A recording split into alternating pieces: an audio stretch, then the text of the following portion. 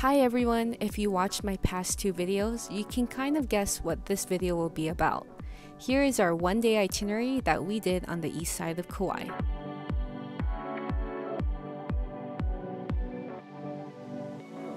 Because we were only island hopping for one day, we didn't want to make the long drives up to Waimea Canyon or go toward Ke'e.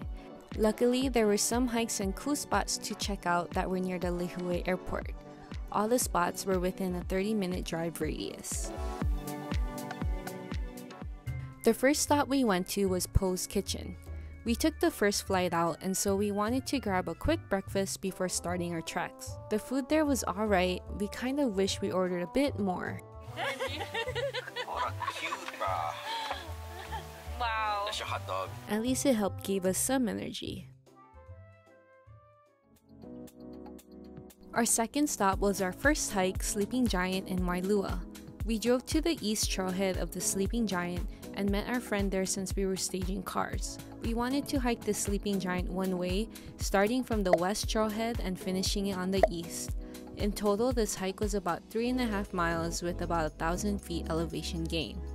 From afar, the mountain looks like a person lying on its back with its mouth wide open, sleeping.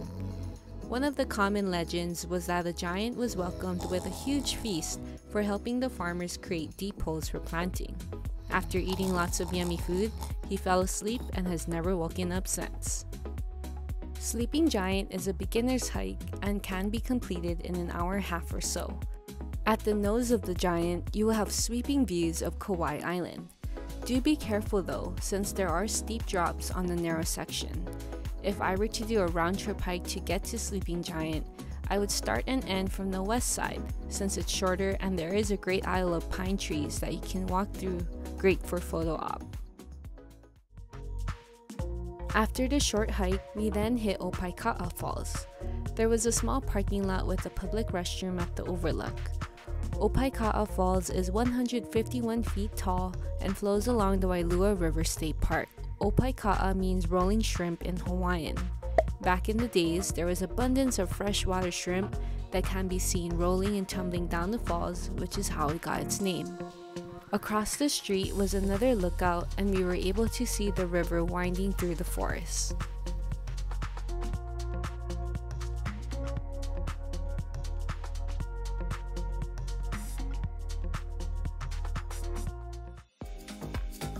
Noon was approaching, and so we headed our way to Konohiki Seafoods for lunch. A friend of ours who lived on Kauai highly recommended this place. Poke is one of our favorite foods, and so we had to try out their fresh poke bowls. What did you get? You got salad.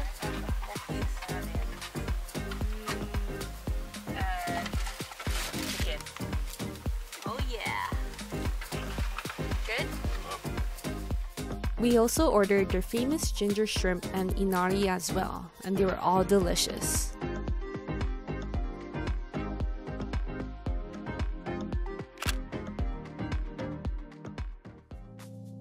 After lunch, we drove back out and ventured off to our last hike of the day, which was Ho'opi'i Falls. Ho'opi'i is located near a residential area, and so it's important to be mindful of where you park and to not be a disruption to the neighbors in that area.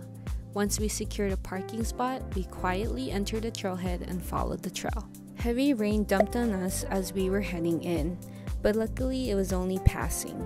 The rain helped us see the two falls flowing. The lower falls was once a film location for the movie Jurassic Park.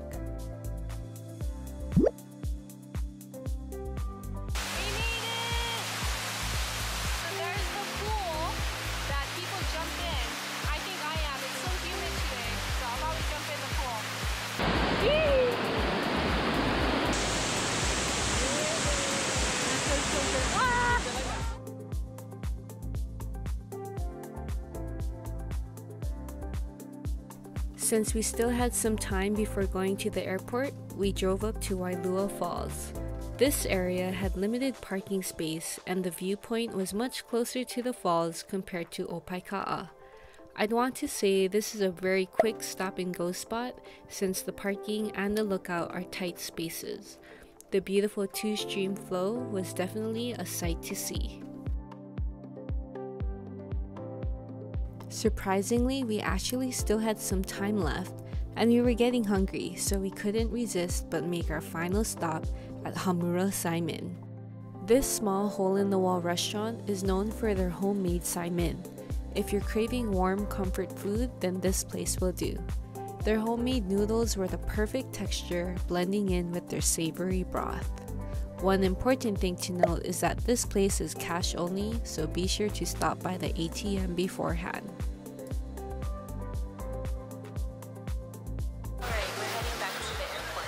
And that was all the spots we hit in our one day adventure in Kauai. Honestly, we could have avoided having to drive back to Lihue, then go back up north and back. I do recommend though to check out if there'll be any construction going on because during this day, we experienced heavy traffic on Kuhio Highway. And if you don't already know, there's only one highway to get around Kauai. But all in all, we had a fun time and we were so glad to get in all the places we wanted to check out. I hope you enjoyed this video, and if you're planning a visit here, I hope this helped as well. Press that like button and don't forget to subscribe if you want to see more of my adventure content. Till the next one, aloha!